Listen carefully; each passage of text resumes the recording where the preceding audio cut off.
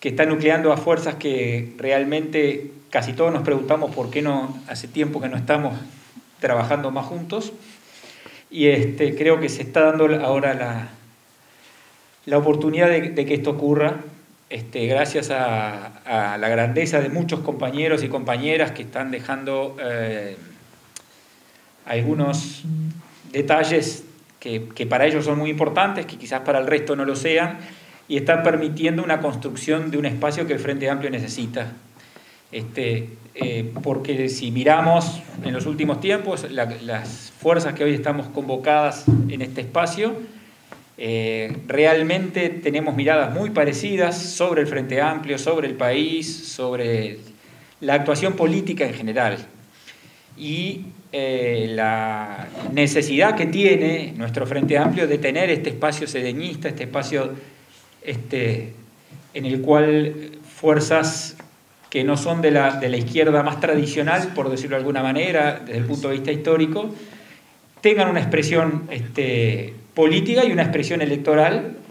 que permita justamente que em, muchas expresiones que yo creo que son de izquierda, de una izquierda quizás no tan ideológica, no tan este, profundamente comprometida con algunas este, actividades que desarrolla la izquierda, como es la, militancia sindical o la militancia este, en diferentes gremios. Por supuesto, algo que nosotros no... Eh, no descartamos hacer y que muchos de nosotros hacemos en nuestras actividades privadas, pero creo yo que hay un electorado de izquierda que no está tan cercano a esa actividad este, profundamente militante que tenemos la mayoría de los que estamos acá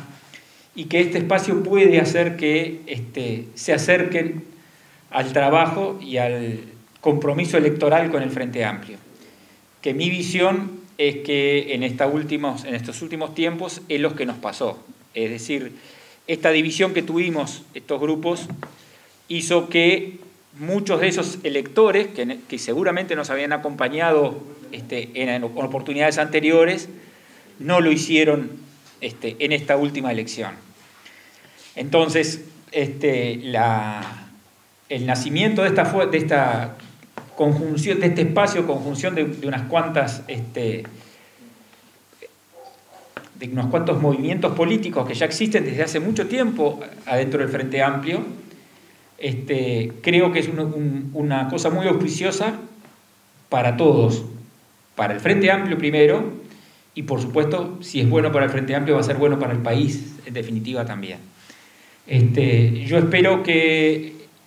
pasado esta, esta instancia electoral que tenemos el 5 de diciembre, podamos seguir trabajando este, en pos de tener este, esta unidad de, acción este, en todos los aspectos.